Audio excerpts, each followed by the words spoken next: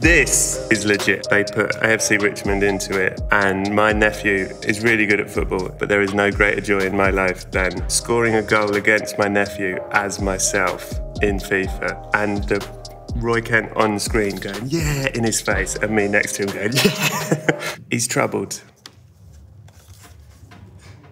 Is that the only team that you ever use? Yeah, yeah. Although I did uh, the other day transfer Marcus Rashford into uh, AFC Richmond and he fits in quite nice.